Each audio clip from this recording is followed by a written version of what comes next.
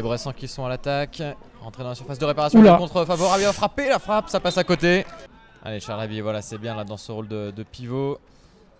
Ah, Ivan Masson qui va changer totalement le jeu sur Denis Bouanga. Ça fait quelques minutes qu'on l'avait pas vu. L'attaquant. Stéphanois il va percuter à l'entrée de la surface de réparation. Ah oui, il va bien avec, joué. euh, Gabriel Silva qui est dans la surface. Le centre de Gabi. Ah, Ah, et dommage.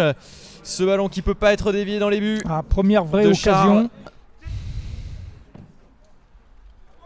Étienne qui, qui- qui maintient cette, euh, cette position de leader un peu dans l'équipe. La semaine dernière, il a fait un ah, petit pont sur euh, Ouais. Benjamin. Ah, et Denis qui va tirer à 25 Ah, dommage. mètres. Ouais, c'est un peu écrasé. Ouais, il a écrasé sa passe à frappe. côté. Ça va venir, mais Il y a un bon, déclic aussi de confiance. Oui, il y, a il y a ça. Et puis, euh, bon, euh, vous savez, Allez, vous êtes, vous un, but. Un- un journaliste expérimenté, mais quand vous étiez petit, il a fallu que vous appreniez à parler. hein. Exactement. La frappe de Savant là, c'était pas mal joué. Bien orienté de la part de, de Denis Bouanga. Un peu écrasé cette frappe de, de Matisse. C'est capté par Anthony Maison. Ouais. On n'y voit aucun, euh, non, c'est aucun la, signe. c'est la mine. hein. Ah, Attention, Oula, ballon en bien. profondeur là. Ah oui. Gabriel Silva qui est au duel. Eh bien joué Étienne. Chose d'intéressant sur, euh, sur ses, Ah, là, vite premiers après, pressings. hein. Allez là, Luke Marc peut pas reprendre le Bressan. Ah oui, Avec euh, passe. la frappe, l'entrée dans la surface. Il faut y aller Étienne Grino. Ah, c'est pas mal cette sortie. Qu'on le pied sur le ballon. Avec Riyad Boudbouz 25 oui. mètres. La frappe de Boudbouz. Ça passe à côté.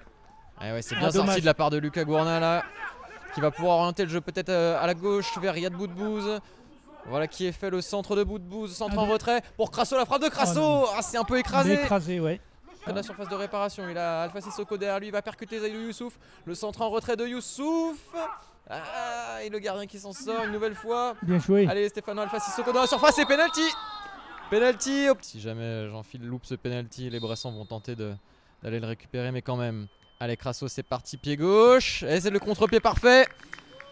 1-0 pour les Stéphanois. Ouverture du score, Jean-Philippe Crasso sur penalty. Rapidement. Et les Bressans qui vont écarter euh, côté gauche. Oula. Oula, il va rentrer dans la surface. Il est battu Alpha Sissoko, le centre. Au deuxième poteau, la tête. Et l'égalisation.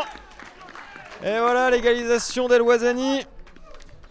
Il est hors jeu au moment du départ du ballon, Jean-Philippe. Et c'est terminé. Un but partout. Alors, entre euh, Saint-Etienne et Bourg-en-Bresse. Deuxième Voilà. match nul dans cette préparation. Les. Verts qui avaient ouvert le score par euh, Jean-Philippe Crasso sur penalty. Et qui se sont fait égaliser quelques minutes plus tard par El Wazani de la tête.